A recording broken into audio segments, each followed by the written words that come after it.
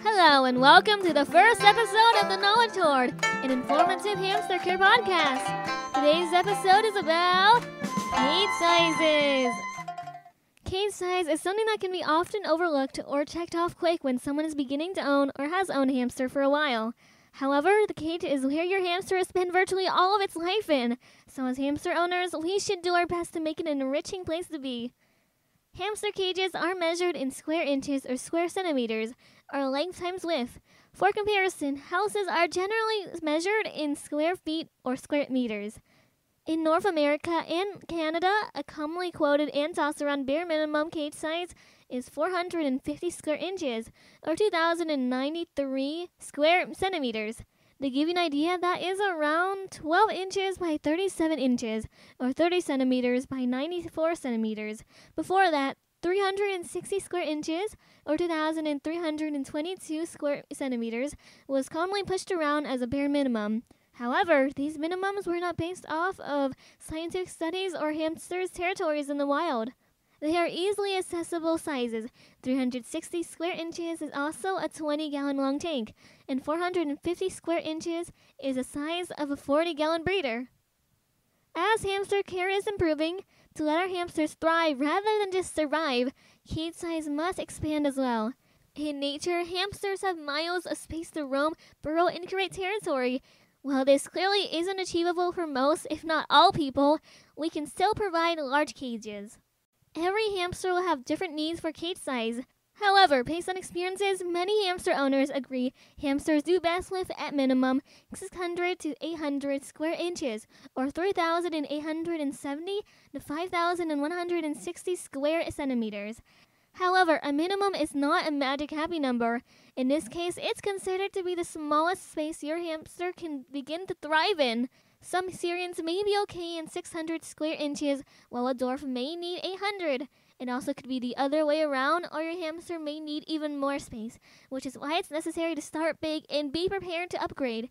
Female Syrians often need more space due to a mating drive, sometimes over a thousand square inches. When measuring a cage, make sure to always measure at the base for things like bins, which slope. The general is to get the largest cage possible and enrich it as well as you can. Enrichment is a huge factor in keeping hamsters happy and enriched. Deep bedding is one of the biggest factors. In the wild, hamsters spend most of their time burrowing. We can still replicate this in captivity. As a goal, it's best to generally have a minimum of 6 inches or 15 centimeters of bedding. However, if possible, it's always good to aim for more, such as 8 or even 12 inches, 30 centimeters, if you can.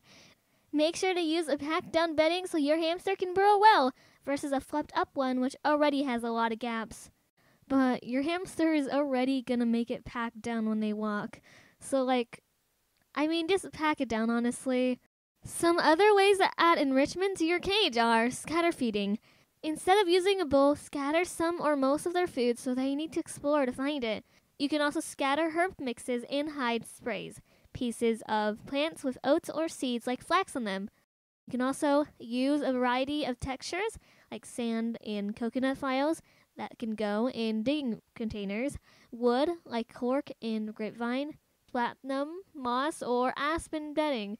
You should never use pine or cedar, even kiln dried. This is a topic we'll expand on another day. Enriching food, also. This is also a topic for another day. I hope you're going to be very excited for that. But a high variety seed mix is enriching and natural. A proper sized upright wheel, all hamsters should have a wheel of at least 8 inches, though some Syrians, Chinese dwarves are very, very chunky winter white, Russian Campbells, or hybrid dwarves. So yeah, they may need larger. They're just chunky boys. It's also important to know how to tell if your hamster is stressed. Symptoms of a stressed or bored hamster are number one, bar climbing or biting. This is not natural and hamsters do not use metal to shorten their teeth. It's a hamster attempting to escape.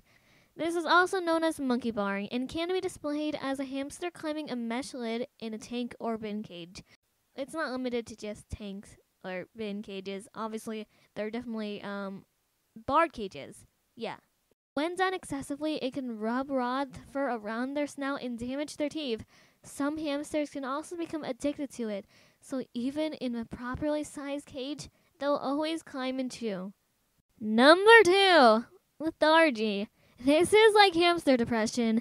They may not move except for food and water and not care if you pick them up in ways they're uncomfortable with. Syrians especially are prone to this, which is why they're often considered cuddly. This is also why dwarf hamsters are often known as aggressive because they tend to exhibit the third behavior on our list, which is fun cage aggression.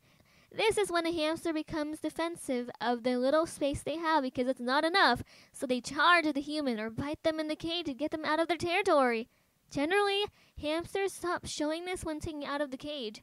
Dwarfs tend to show cage aggression more than lethargy, though this is not always true. Okay, so moving on to excessive wheel running. While a wheel is a good toy to have and hamsters do use it when bored, Sometimes a hamster becomes so bored in their space that they spend almost all their waking hours running on the wheel. This is simply because they have nothing else to do with their time, so they eat, drink, run, sleep. They have no other enriching things to do. Number five. Alright, so chewing out of the cage. If a hamster wants to escape, they may chew out of a wooden or plastic cage slash spin. If your hamster displays any of these symptoms, you may need to change up your enrichment or consider a cage upgrade, depending on your specific scenario. Just because you have a large cage doesn't mean happiness. You need to use that space. Don't leave it empty. Fill it up so they have things to do in their time. In conclusion, cages are where your hamsters lives their whole life with you. It's an owner's responsibility to make it an enriching, engaging place to be so your hamster can feel safe and happy. That's it for our first ever episode of the Knowledge Hoard. If you have any questions, feel free to email us or join the forum that collaborated to make this podcast, Hamster Hideout Forum. You can find a link in the description of this video. Thank you for listening and have a wonderful day. This is Lilum signing off.